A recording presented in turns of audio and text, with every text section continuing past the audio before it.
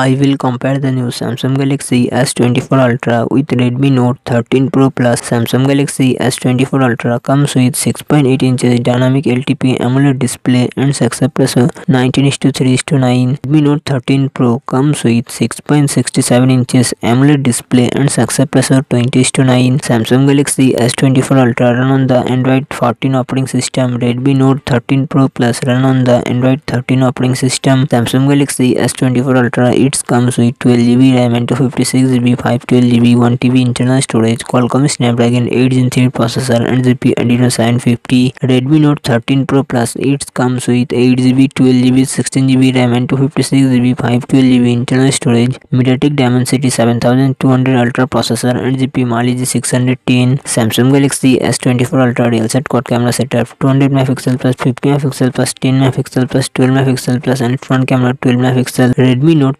13 Pro Plus real set triple camera setup 200 megapixel plus 8 megapixel plus 2 megapixel front camera 16 megapixel Samsung Galaxy S24 Ultra 5000 inch battery 45 watt fast charging support Redmi Note 13 Pro Plus 5000 inch battery 120 watt fast charging support